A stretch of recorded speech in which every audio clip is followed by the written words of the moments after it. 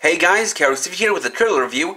This time I'll be reviewing the Sodo Kamen Rider Ex-Aid Level 2, Burger Gamer, and Bugster Virus from Kamen Rider Ex-Aid. So for our next look at the Sodo series, we'll be taking a look at the last of the retail Sodo releases that I have, and the ones that I couldn't really fit into the other videos. So, let's get started.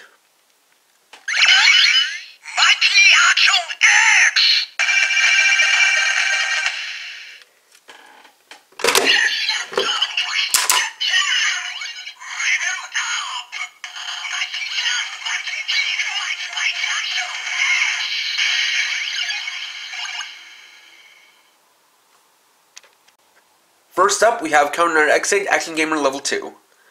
Now, I'm only reviewing this for the sake of actually having him here for the combination with the Burger Gamer, but I'm going to take a good look at him anyway. So, of course, being Ex-Aid, he's primarily pink plastic, but there is a lot of nice stickered and painted detail on. You can see that the head is almost fully painted, with really the only stickers being the eyepiece. We got the chest piece, which is completely done up in this metallic silver, and the uh, sticker for the chest plate.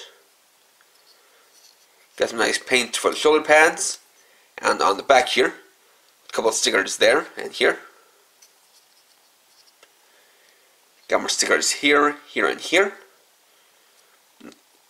Have tempographic lines all over him the uh, gamer driver and the Kiro's thought holder on him as well.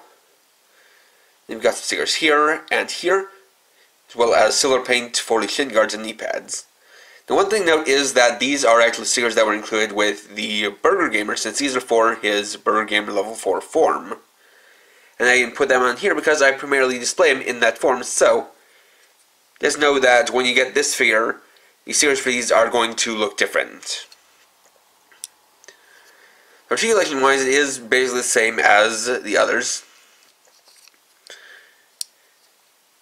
But there are a couple of things to note. The first thing is that for the head, this is one of the earlier exos, so it's a bit more limited.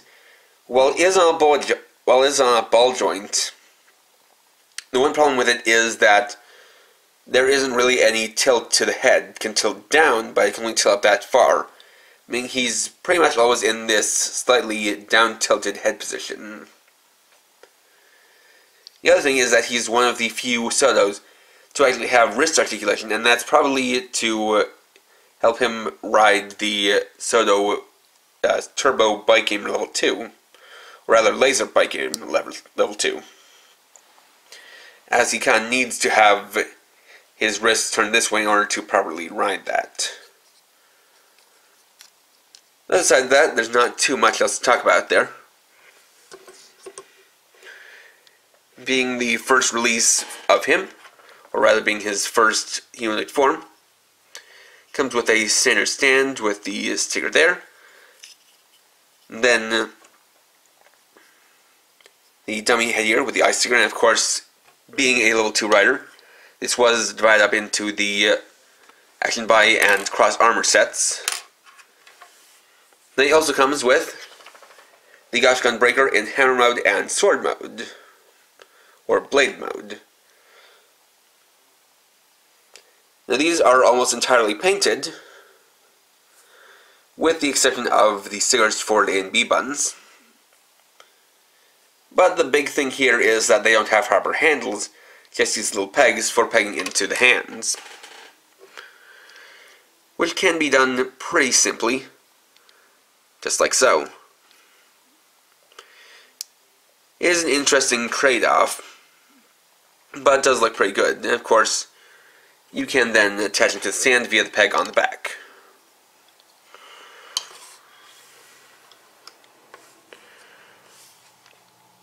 Next up we have the Burger Gamer, who is probably one of the most justifiable characters for making exclusive to the Sodo series, because while the Juju Burger Gashat was a retail release, it was only ever used in one episode.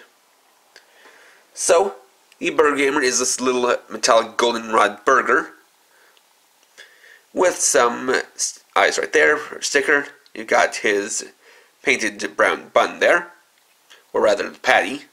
Then the lettuce down the bottom, which is also a couple of stickers. On the top you can see some little indents to look like or imitate seeds. Got his little arms, which are actually a ketchup and mustard bottle respectively. And these can be pivoted around. And you have his little feet down here, which are on roller skates. And these are also on ball joints.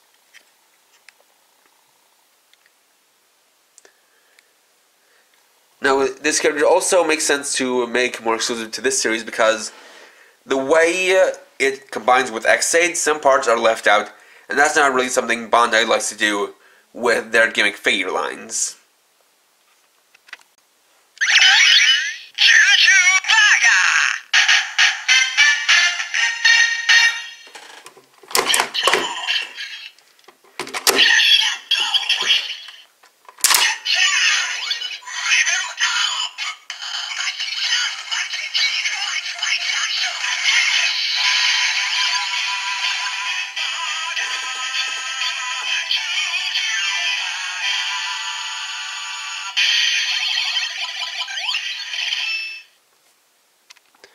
Okay, so for the combination, we're first going to need to do a bit of work on Ex-Aid.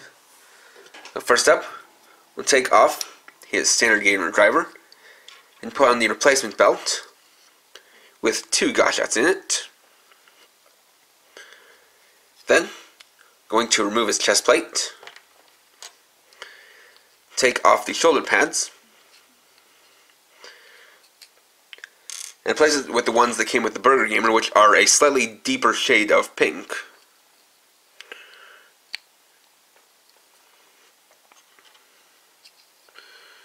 An easy way to tell which one is which is that the original ones have silver on the inside or gray, while the new ones have black on the inside.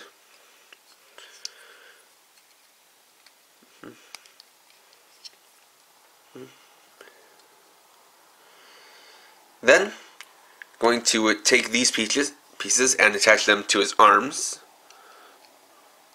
these pegs on the bottom of his wrists, or bottom of his hands rather.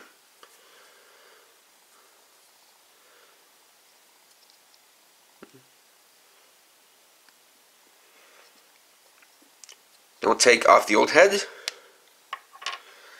and replace it with the new one.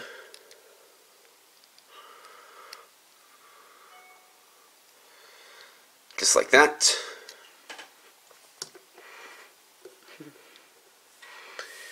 Then we're going to take the Burger Gamer, pop off the uh, bottles, and pop off his feet.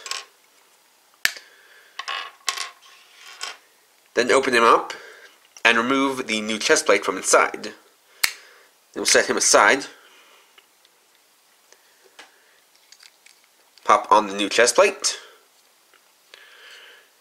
take off his old feet and replace them with the new ones.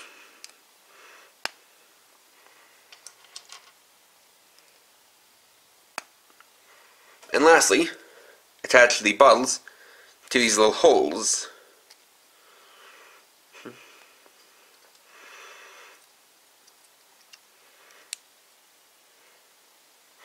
Right there and right there.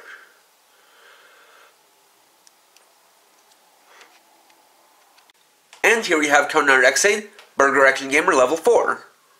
So this is an interesting form because even though it's a level 4 form, this actually aired on premiered after the level 5 form. So it's interesting that it's kind of anachronistic in that way. It's also got a pretty unique design. You can see the new head, which is pretty much the same as his regular head, but with this thing resembling a skating helmet or a general sports helmet attached to it. You got the new chest plate, the new chest plate, which has a burger detail on it. Of course, he's got his ketchup and mustard blasters. And then these roller skates. And while it does seem a little bit odd to add the roller skate helmet to this design, he does seem to be based on the character. On, he's clearly based on the character as on the Juju Burger Gashat, who is probably supposed to be a server at a drive-in restaurant or drive-in diner. Where they would use roller skates to go around and serve the food. It is a pretty fun looking design overall. And despite having these thin roller skates, you can still bounce them pretty well. Though for more extreme poses, you're obviously going to want to make use of something like the sand. And finally, we have the Bugster virus, which is the generic grunt for the series. And while grunts are something that are not in every Rider series, they're especially not very common in the early Heisei area, era, and I'm not sure how common or uncommon they were in the Showa era. They are something that have become more common in recent years. Though the interesting thing about the Bugster virus is that this is just its basic form.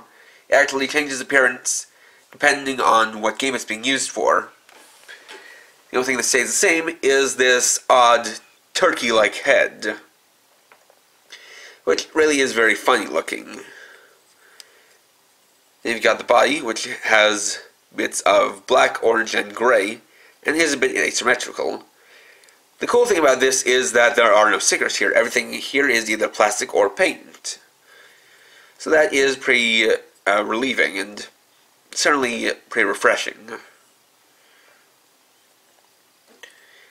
It's got some pretty standard articulation on him.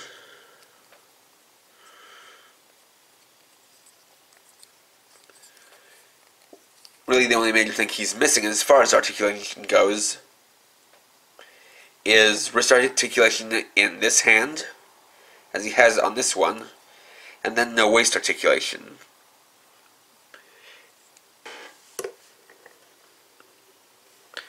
Additionally, it comes with this trident here, which is the standard weapon for the bugsters.